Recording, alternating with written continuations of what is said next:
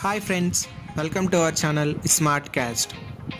Today we are going to see how to adjust automatic side mirrors, also familiar with the name outer rear view mirror.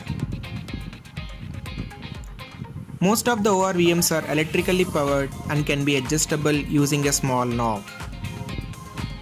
It has four positions left, neutral, right and downward. To open and close the mirror, you need to push the knob in the downward direction. You push it for the first time, it will open the mirrors. For closing the mirror, again push the knob in the downward direction. As you can see in the video, the mirrors are closing now. For adjusting one particular mirror, you need to rotate the pointer towards the direction and adjust the knob. Let's see how we can do it. Rotate the knob towards right it is pointing to right side mirror and adjust the knob so that the driver has a perfect view while riding the car.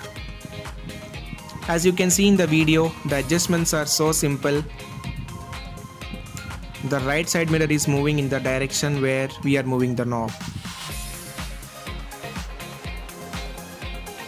In the same way, rotate the pointer towards left to adjust the left side mirror.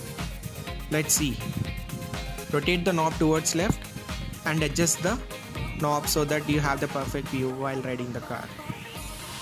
Once adjustments are done, bring the pointer to the neutral position that is the middle position between left and right.